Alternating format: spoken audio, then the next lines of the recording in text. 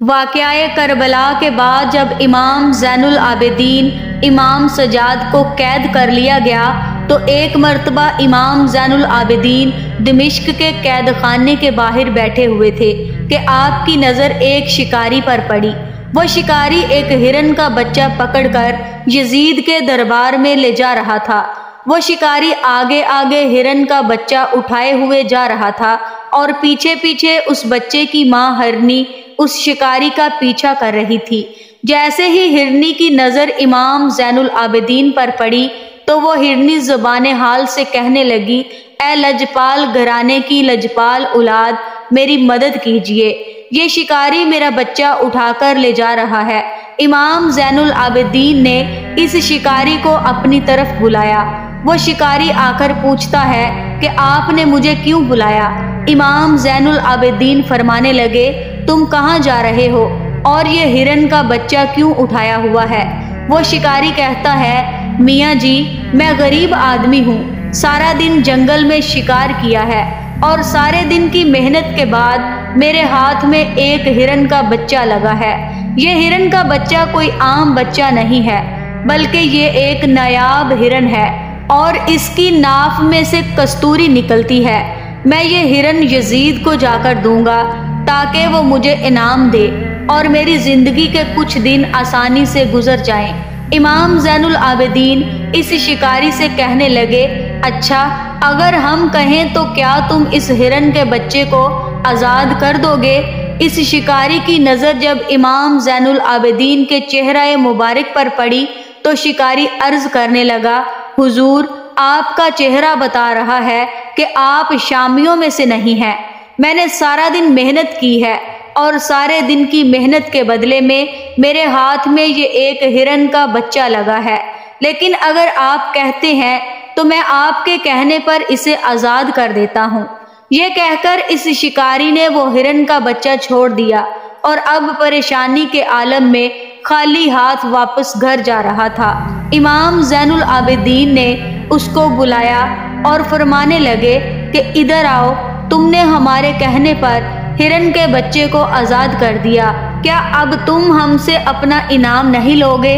वो शिकारी कहने लगा, हुजूर, आपके हाथों में हथकड़ियाँ हैं, आपके पाँव में बेड़ियाँ हैं। देखने से आप कैदी मालूम होते हैं।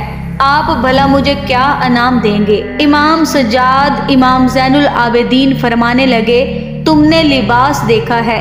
सैयद सजाद नहीं देखा। और फिर इमाम ने फरमाया कि जाओ वहाँ से जाकर एक थैले में मट्टी उठा लाओ। उससे शिकारी की समझ में कुछ ना आया। लेकिन वो इमाम जैनुल आबिदीन के लहजे से इतना मुतासिर हुआ कि बगैर कुछ कहे वो वहाँ से एक थैले में मट्टी उठा लाया। इमाम जैनुल आबिदीन ने फरमाया कि मट्टी को मेरे सामने रख दो और अपनी आँखें बंद कर दो। थोड़ी देर के बाद इमाम ने फरमाया कि अपनी आँखें खोलो। जब वो शिकारी अपनी आँखें खोलता है तो देखता है कि वो थैला जिसमें वो मट्टी भरकर लाया था, अब हीरे जोहरात और सोने चांदी से भरा हुआ था। शिकारी ये देखकर बहुत हैरान हो गया और हाथ जोड़कर अर्ज़ करने लगा, हुजूर, अल्लाह के वास्ते मुझे बताइए कि आप कौन हैं? इमाम जैनुल आबिदीन उससे पूछने लगे कि तू मुसलमान है या काफिर?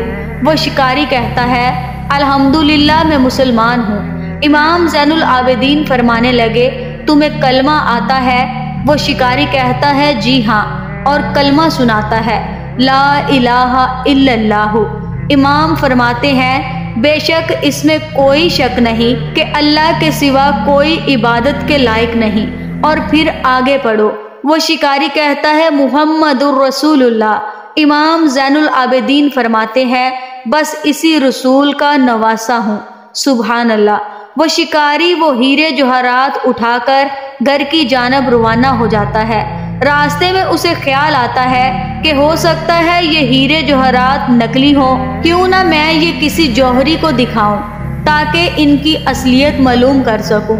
वो शिकारी एक जौहरी के पास जाता है। और उसे एक नगीना दिखाता है और पूछता है कि भाई इसकी कीमत क्या है?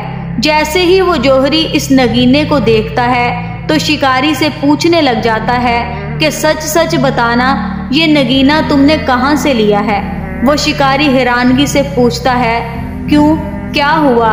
क्या ये हीरा नकली है? वो जोहरी शिकारी से कहने लगा, नहीं, वल्ला ऐसा हीरा मैंने अपनी ज़िंदगी में पहले नहीं देखा।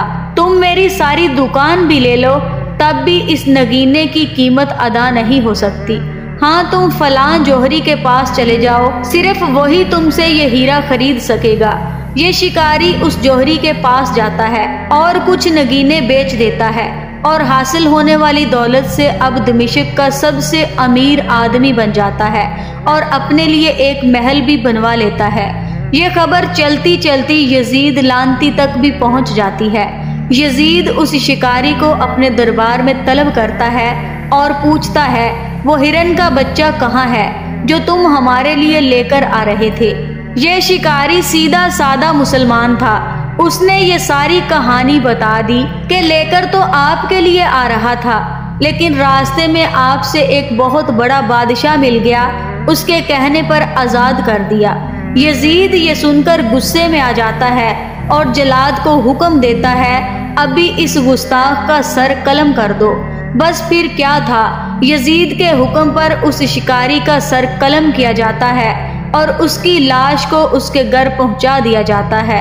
जैसे ही उस शिकारी की बीवी अपने खामंद की लाश देखती है तो उसके होशो हवास गुम हो जाते हैं। वो रोने धोने और चीखने चिल्लाने लगती है। अब इस शिकारी का एक छोटा सा आठ साल का बच्चा था। वो जैसे ही घर आया और देखा कि उसकी वालिदा रो रही है तो वो पूछने लगा कि क्या हुआ है? आज सुबह तक तो हम अमीर थे, सब कुछ ठीक ठाक था, अब क्या हो गया है?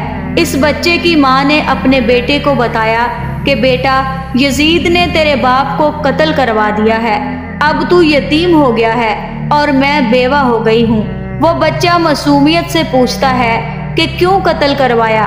तो उसकी वालिदा बताती है कि वो जिसने मट्टी को हीरा बनाया था, उसके प्यार में यजीद ने तुम्हारे बाप को कत्ल करवा दिया है। वो बच्चा अपनी वालदा से कहने लगा, अम्मी जान, रोना धोना छोड़ दीजिए। आओ, वो कैदी जिसने मट्टी को हीरा बनाया था, उसी से जाकर कहते हैं कि हमें अपना नगेबान, यानी मेरा वालिद दोबारा ज़िंदा कर दे। बात औरत की समझ में भी आ जाती है। और ये दोनों माँ बेटा इमाम जैनुल आबिदीन के पास चले जाते हैं और वहाँ जाकर दरवाज़ा खटखटाते हैं। तो इमाम जैनुल आबिदीन बाहर आते हैं और पूछते हैं, बीबी, क्या काम है? ये औरत कहती है, हुजूर, मुझे नहीं काम, बल्कि मेरे बच्चे को आपसे काम है। वो बच्चा इमाम जैनुल आबिदीन के आगे रोकर अर्ज़ करता है, हुजूर, मट्टी से हीरे जोहरात आपने बनाए थे। इमाम जैनुल आबिदीन फरमाते हैं, नहीं बेटा, उस अल्लाह ने बनाए थे, जो हर चीज़ पर पूरी पूरी कुदरत और ताकत रखता है। बच्चा फिर पूछने लगा, हुजूर, आपके कहने पर बनाए थे? इमाम जैनुल आबिदीन फरमाने लगे, जी हाँ बेटा, ये अल्लाह की करम नवाजी है। वो बच्चा इमाम जैनुल आबिदीन से अर्ज़ करने लगा, हुजूर, आपके प्यार में, आपकी मोहब्बत में यजीद ने मेरे वालिद को कत्ल करवा दिया है। हम आपके पास आए हैं कि आप अल्लाह ताला से दुआ करके हमें हमारा वालिद वापस ज़िंदा करवा दें। इमाम जैनुल आबिदीन ने जब उस बच्चे के रोने की और शिद्दत से तड़पने की कैफियत को देखा तो इमाम फरमाने लगे चलो मेरे साथ आओ। इमाम जैनुल आबिदीन उस शिकारी की लाश पर आए और उसे कहने लगे, अल्लाह का नाम लेकर उठो। वह शिकारी अल्लाह का नाम लेता हुआ उठकर बैठ गया। लेकिन जैसे ही वो ज़िंदा हुआ, दोबारा रोने लगा।